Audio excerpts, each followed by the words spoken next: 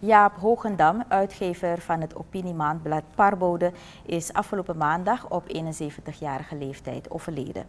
Hogendam richtte in 2006 Parbode Magazine op toen hij vernam dat het enige Surinaamse opinieblad, de Paramaribo Post, was opgeheven.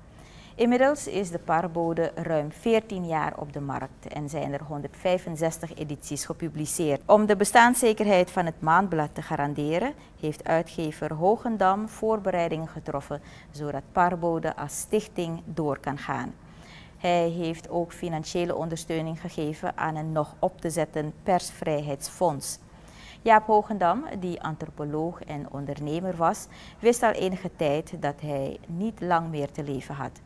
Doe iedereen de groeten voor me. Ik heb helaas geen tijd gekregen om afscheid te nemen, was zijn laatste boodschap. Hogendam wordt in Amsterdam in besloten kring gecremeerd.